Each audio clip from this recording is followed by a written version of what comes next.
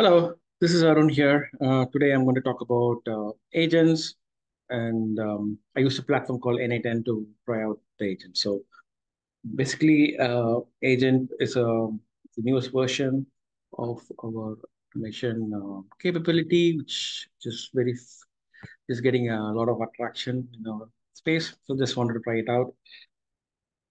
Um, so agent can interact with any human, bot, or other agents and it's going to revolutionize the way we're going to we are operating in future.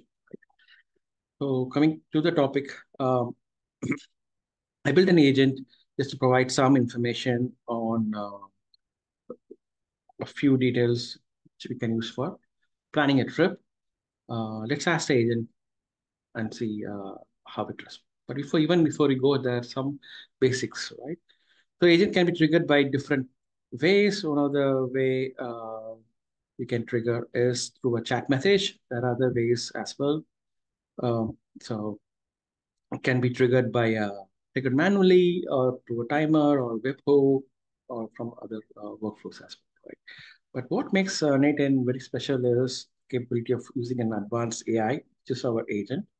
Um, you see the, they have incorporated a lot of new uh, AI capabilities, just made it very easy for uh, low-code platform users like myself uh, to, to try out these new capabilities and features, right?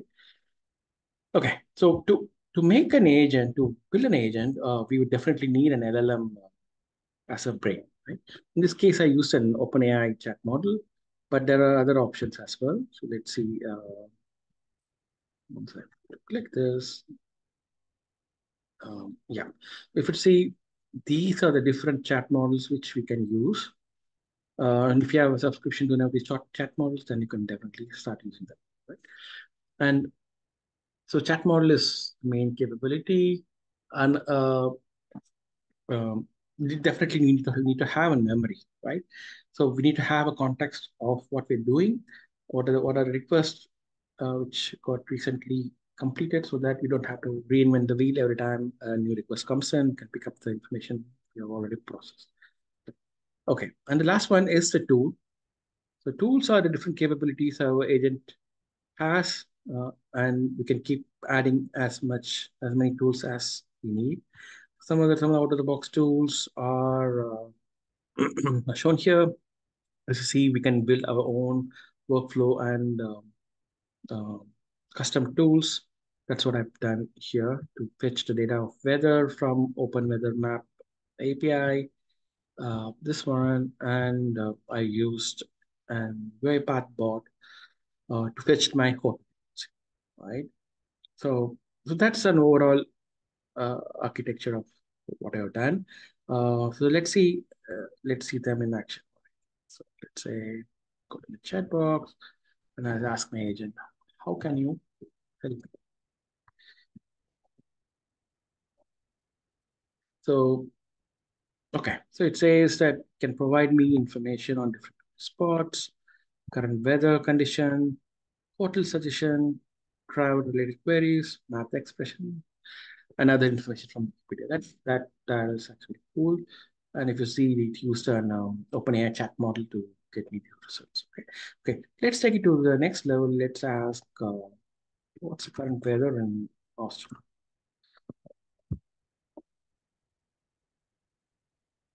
Ideally it should use the open weather uh, workflow instead of just coming back blank. Let's see what it does. Okay, so I have the current weather in centigrades. And if you see this, it used the weather uh, the weather workflow I built and took Austin as a city as input, and I got back the weather information.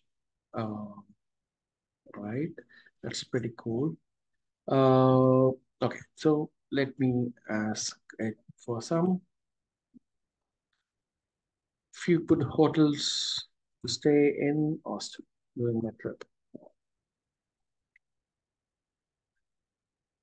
Okay, so it rightly it started a robot job because that's one of the workflow I did. You see, the hotel workflow, right? So it took input as Austin and kicked off a job a job. And ideally, I should receive an email uh, with the information of the hotel. So let's see uh, if I go to the orchestrator.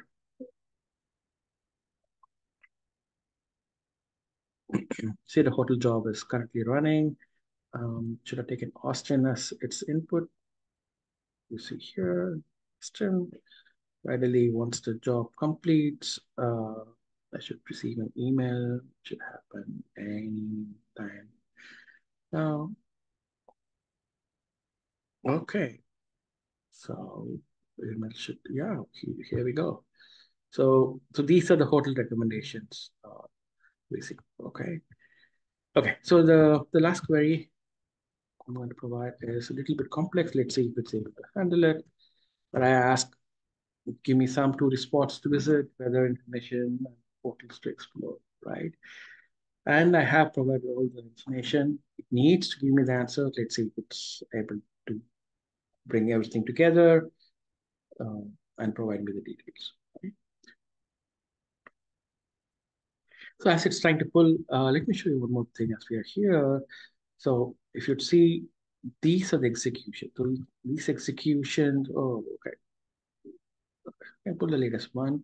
So let's say this is, is the latest one. And so Dallas is input. This is weather information.